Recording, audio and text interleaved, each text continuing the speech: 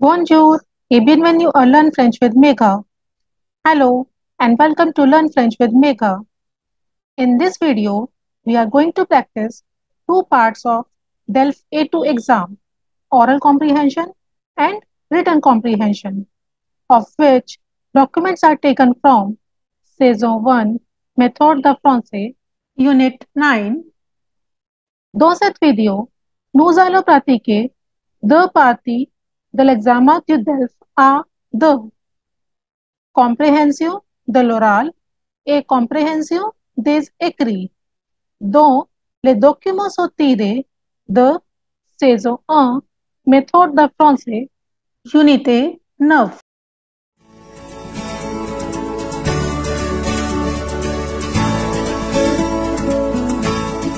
Before starting oral comprehension, first read all the questions carefully and try to write all the words in abbreviation form, whatever you hear. Avant de commencer compréhension orale, lisez d'abord attentivement toutes les questions et essayez d'écrire tous les mots sous forme d'abréviation, ce que vous entendez.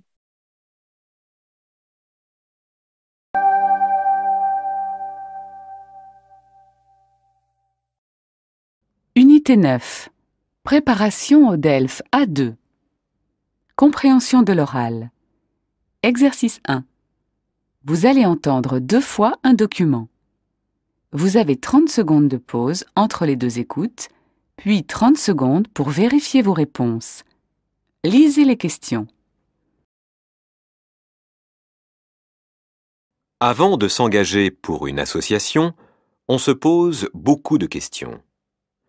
Nous les avons posées à Daniel Santos, bénévole depuis 15 ans dans l'association La Bibliothèque du Cœur.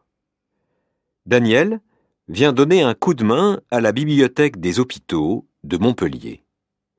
Il apporte aux malades des livres pour les distraire. Daniel, comment êtes-vous entré dans cette association? Ma sœur était bénévole dans cette association et elle avait besoin d'aide. Au début, je venais un soir par semaine, puis je me suis engagé beaucoup plus quand mes enfants ont quitté la maison. Aujourd'hui, je vais quatre soirs par semaine à l'hôpital pour proposer des livres aux malades. Que demande-t-on aux bénévoles? Il faut aimer le contact avec les autres et être généreux. Il faut aussi être en assez bonne forme pour tenir deux heures debout dans un couloir d'hôpital où il fait chaud. Comment peut-on devenir bénévole? Il faut téléphoner ou écrire au président de l'association. Les personnes intéressées suivront une équipe de bénévoles pour voir si ça leur plaît.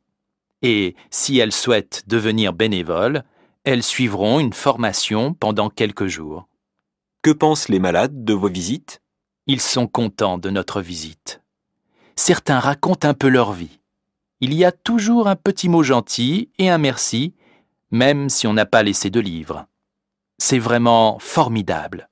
Et c'est ça qui m'intéresse vraiment. On reçoit autant qu'on donne.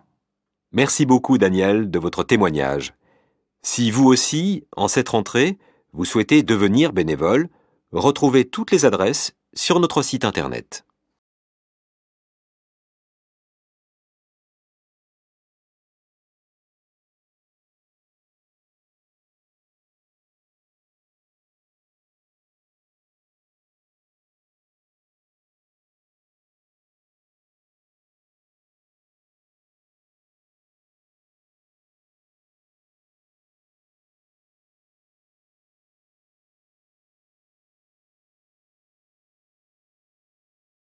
Avant de s'engager pour une association, on se pose beaucoup de questions.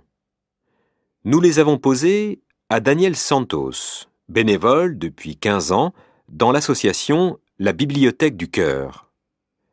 Daniel vient donner un coup de main à la Bibliothèque des hôpitaux de Montpellier. Il apporte aux malades des livres pour les distraire. Daniel, comment êtes-vous entré dans cette association? Ma sœur était bénévole dans cette association et elle avait besoin d'aide. Au début, je venais un soir par semaine, Puis, je me suis engagé beaucoup plus quand mes enfants ont quitté la maison. Aujourd'hui, je vais quatre soirs par semaine à l'hôpital pour proposer des livres aux malades. Que demande-t-on aux bénévoles? Il faut aimer le contact avec les autres et être généreux. Il faut aussi être en assez bonne forme pour tenir deux heures debout dans un couloir d'hôpital où il fait chaud. Comment peut-on devenir bénévole? Il faut téléphoner ou écrire au président de l'association. Les personnes intéressées suivront une équipe de bénévoles pour voir si ça leur plaît. Et si elles souhaitent devenir bénévoles, elles suivront une formation pendant quelques jours. Que pensent les malades de vos visites? Ils sont contents de notre visite. Certains racontent un peu leur vie. Il y a toujours un petit mot gentil et un merci, même si on n'a pas laissé de livre. C'est vraiment formidable. Et c'est ça qui m'intéresse vraiment. On reçoit autant qu'on donne. Merci beaucoup Daniel de votre témoignage. Si vous aussi, en cette rentrée, vous souhaitez devenir bénévole, retrouvez toutes les adresses sur notre site internet.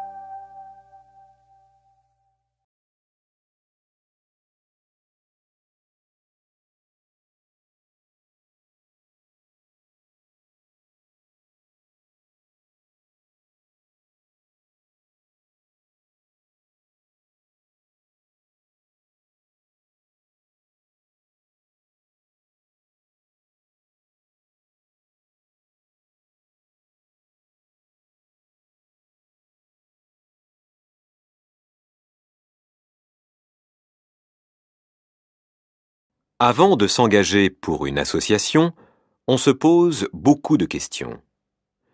Nous les avons posées à Daniel Santos, bénévole depuis 15 ans dans l'association La Bibliothèque du Cœur. Daniel vient donner un coup de main à la bibliothèque des hôpitaux de Montpellier. Il apporte aux malades des livres pour les distraire.